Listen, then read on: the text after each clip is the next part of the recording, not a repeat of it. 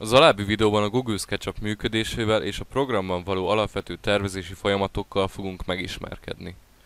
A Google SketchUp elérhető ingyenes verzióban, így az könnyedén beszerezhető az internetről. A program nem tartalmaz magyar nyelvet, így használatához angol nyelvismeret szükségeltetik. A program indításakor az üdvözlőképernyőn találjuk magunkat. A tervezés megkezdése és a program indítása előtt válasszuk ki a számunkra megfelelő rajzsablont. A rajzsablonok egyaránt szolgálnak építészeti, gépészeti és egyéb tervezési folyamatok kiszolgálására. A legfőbb különbség a rajzsablonok közt a méretezési egységek és a mérési folyamatok különbsége, melyeket az aktuális tervezés során használni szeretnénk. Ezek a mértékegységek lehetnek méter, hüvely, kláb vagy milliméter. A rajzsablonok kiválasztásához kattintsunk a jobb felső sarokban található Choose Template gombra.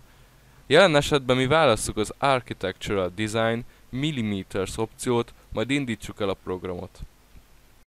A program első indításakor felugrik egy ablak, amely az alapvető kezdő instrukciókat tartalmazza, illetve a különböző módosítások végrehajtásához szükséges billentyű kombinációkat. A könnyebb használat érdekében először bővítsük ki a rajzeszközeink tárát, melyet az alábbi módon tehetünk meg.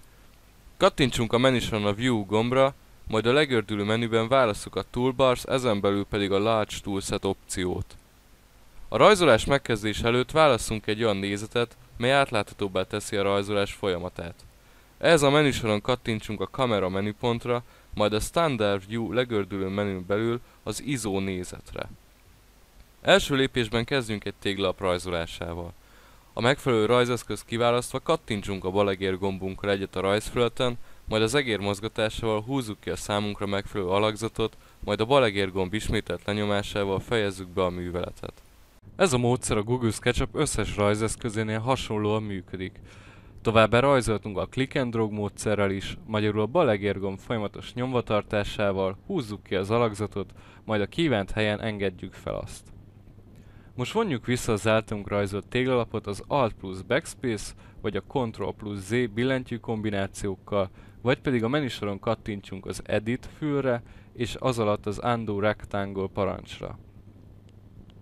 Rajzoljunk ismét egy téglalapot, de közben figyeljük a jobb alsó sorokban található ablakot.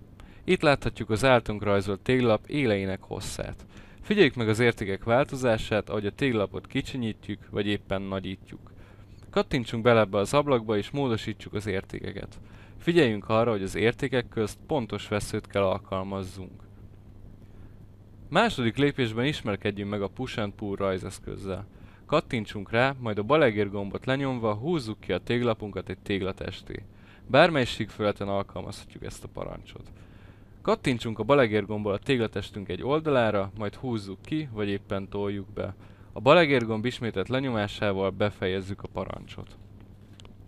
Most rajzoljunk ismételten egy téglapot a már meglévő téglatestünkre. Figyeljük a referenciapontokat, amelyek segítenek nekünk. Ha a pont pirossá válik, egy élre helyeztük a kurzort. Rajzoljunk egy téglapot az egyik sarokból kiindulva.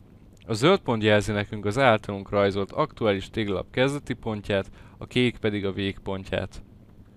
Most alkalmazzuk ismét a Push and Pull rajzeszközt, és toljuk be, vagy húzzuk ki a kijelölt új felületet a téglatestünkön belül. A Push and Pull parancs egy kijelölt felületen működik. Rajzoljunk most egy kört. Kattintsunk a megfelelő rajzeszközre a palettánkon belül, válasszuk ki a kört, majd a téglatestünkön a bal gombbal kezdjük meg a kör rajzolását. Húzzuk ki a számunkra megfelelő sugárig, majd a bal gomb ismételt lenyomásával fejezzük be a műveletet. Rajzoljunk több kört különböző felszíneken a parancs segítségével, majd a Push and Pull eszköz alkalmazásával húzzuk ki vagy toljuk be a kijelölt felszíneket a Push and Pull művelet könnyebb szemléltetése érdekében.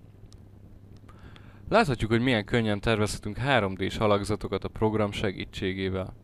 Most ismerkedjünk meg a további parancsokkal. Kattintsunk a rajzeszköz palettánk alatt található Orbit parancsra, majd a bal egérgomb nyomvatartása mellett forgassuk körbe az általunk rajzolt testet. Ezután kattintsunk a pen eszközre, mely segítségével az alakzatunk térbeli elhelyezkedését módosíthatjuk.